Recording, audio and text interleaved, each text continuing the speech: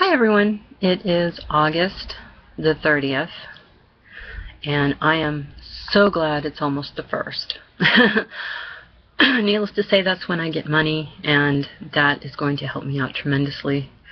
Uh, you know, everyone in life has bills and stuff, and I'm no different. There's not a lot that I have to take care of, but there's a few things, you know, the car insurance and food and bedding for pets and all of that fun stuff. Um, today has actually been a decent day. I uh, woke up, I took my mom to pick up medicine, and we were going to do a little more running around, but the thing was, um, I had to take Cassie to the doctor um, but it was nice because after my mom picked up the prescription, she goes, well, why don't we go to Denny's and get something to eat? And um, it's amazing after the gastric bypass because I really just hardly eat. Um, sorry, I've got congestion in my throat. But um, yeah, we went to Denny's and my mom got this senior breakfast. It's sort of like a Grand Slam, but not exactly like a Grand Slam. Um, but I basically, um, I ended up uh, having part of her breakfast. I mean, literally, I just don't eat that much anymore. Um, I had a couple of bites of egg, a sausage link, a piece of bacon, and then I couldn't even get through half a pancake after that. You know, I just that was it. And um, the biggest thing that I encounter is that I'm really not supposed to eat and drink. The problem is, is I'm always thirsty. I think that's because of my medication. And uh, so that really gets to be a detriment because I'm thirsty all the time. And I know I'm not diabetic, and I know that nothing else is wrong with me. The doctors would have told me. Um, and I recently had blood work done. Um, anyway, uh, Heard from my Aussie yesterday. Then that's always fun. I love to hear from him. Always brings a smile to my face.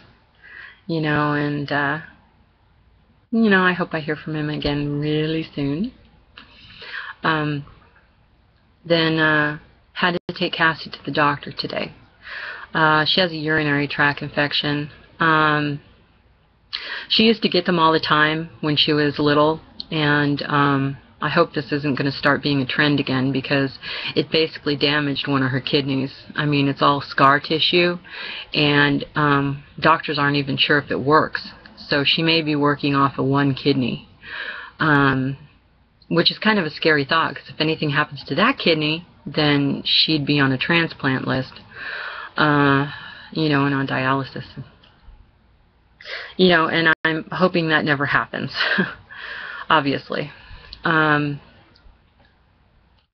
we're also talking about putting her on birth control, um, partially to regulate her periods, you know, and, uh, you know, apparently the, the doctor, her doctor, doesn't do that. They, they do all kinds of other tests and stuff like that, but they don't prescribe um, the pill.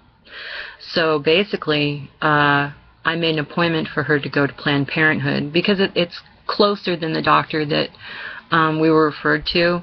And Planned Parenthood is a good place. I remember going there for pregnancy tests. And uh, so I figured, you know, we can talk to them about it and see what they say. And I'm sure that they'll have some really good, you know, suggestions and, you know, find something really good for her. Um, uh, what else? Oh, tonight my um, mom and I actually, after dinner, sat and talked. It was amazing. We like never talk, you know, and if we do, it's usually her complaining and me going ah. Um, but we talked a little bit about politics, a little bit about religion. Um, talked a little bit about church. She told me a lot of her memories that she remembers, and you know, we kind of switched back and forth to kids now. She asked me what I would do if Cassie ended up pregnant, you know, and I mean, Cassie's going to be 15 in November. It's really too early, but I, I told my mom what I told Cassie. basically that um, if uh, that whatever her decision was, I was going to support it.